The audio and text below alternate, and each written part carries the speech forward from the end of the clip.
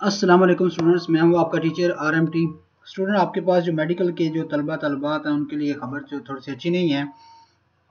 Medical college के दाखिलों के लिए 15 नवंबर को एम डी कैट के टेस्ट लेने का मामला आ चुका है। आपके पास जो टेस्ट है, ये लेने जा रहे हैं। तो तमाम स्टूडेंट से दरख्वास्त है कि अपनी तैयारी करें।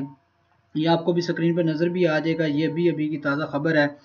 तो तमाम जितने भी मेडिकल के जो स्टूडेंट्स हैं स्पेशली उनसे मेरी दरख्वास्त है कि काइंडली अपनी तैयारी करें और उसके अंदर आपने अगर आपको मेडिकल से रिलेटेड कोई भी किसी किस्म के मतलब टेस्ट या एमसीक्यू चाहिए हैं तो वो मुझे मैसेज कर सकते हैं मैं उन, सबको सेंड कर सकता हूँ। तो ये भी आपके पास उन्होंने बताया है कि मेडिकल के ये पंद्रह नवंबर से टेस्ट लेने के खिलाफ वर्जी दरख्वास्त खारिज कर दी गई है। जस्टिस आयशा ए मलिक ने दरख्वास्त महफूज किया और फैसला सुना दिया है। यह भी अभी की ताज़ा खबर है और आप देख सकते हैं। और गैर मुतल सवाल के हवाले से एतराज़ फॉर्म करने के मामला भी सामने आ चुके हैं और मेडिकल कॉलेज के दाखिलों के लिए पंद्रह नवंबर को एम डी कैश टेस्ट लेने का मामला। ये स्टूडेंट ने अदालत में केस किया हुआ था तो ये उसका आज फैसला आया है। और तमाम जितने भी मेडिकल के जो स्टूडेंट्स हैं स्पेशली उनसे दरख्वास्त है कि लिहाजा इसको लाजमी देखें।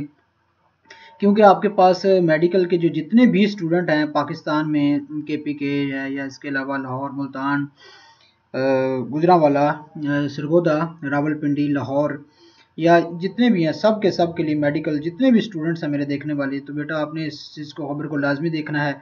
और ये, आप लोगों के लिए बड़ी यूज़फुल भी है बस लेकिन ये है कि टेस्ट जो है वो तो लाजमी होगा। तो ये थोड़ा सा केस चल रहा था अदालत के अंदर उसका ये फैसला है। और इन इससे जो भी रिलेटेड मज़ीद कोई भी खबर होगी वो मैं लाजमी आपको बताऊँगा अपना ख्याल रखिएगा।